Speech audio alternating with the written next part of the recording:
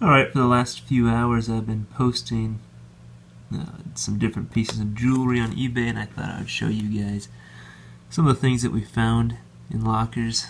Uh, I'll start with this ring. It's nice. It's 10 karat gold. Uh, it's a simulated ruby in there. Old. It's an old ring. Uh, you can kind of see kind of that retro styling on it. It's a nice piece. Here's another kind of similar piece that we found. Another uh, old ring with a simulated ruby in it. Let's see some of the styling on that. It's kind of a cool piece.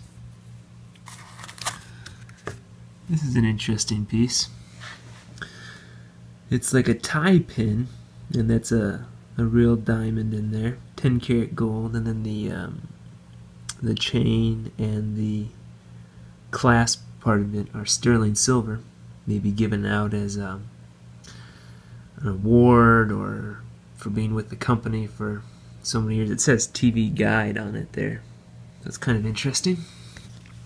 In the same line, there's this uh, tie bar or tie clip, and uh, it it's got this little figure of this man on it, and below it, I don't know if you can see it there in the light, but it says Chesty, and then 10 years. And the uh, that little part of it's 10 karat. It's marked there on the back as 10 karat gold. You can see that. And then the uh, the actual bar itself is uh, gold filled. Uh, that's kind of interesting. I don't know what that's from, what company it's from. I couldn't find anything else like it online for sale. So um, if you recognize that, uh, put something down in the comments. Let me know because I I was looking around online and I couldn't find uh, any other pieces like that with that chesty uh, mascot or whatever there. Uh, this is a old Bulova women's watch. and it's 14. The case is 14 karat gold, uh, and it's running and keeping time.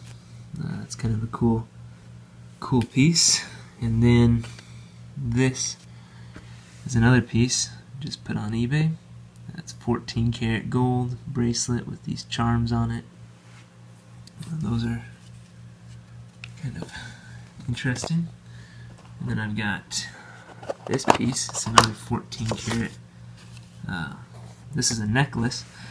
Uh, it's got a area symbol there.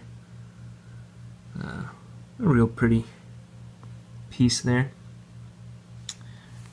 And then I've got a couple that I'm going to put out in our store just because they're so small it doesn't really pay to put them on eBay. Uh, got this little, it's 14 karat gold charm. We'll put that out in the store for 10 bucks. It's like a quarter of a gram of gold, so there's not, not a lot there. And then there is this, the 10 karat gold necklace. Really, really fine though, and it's really thin uh, pendant there. And uh, we'll put that out in our store for $25. What a cool, cool little piece. And so all these uh, examples of jewelry that we have found uh, fairly recently in some of the lockers we've purchased.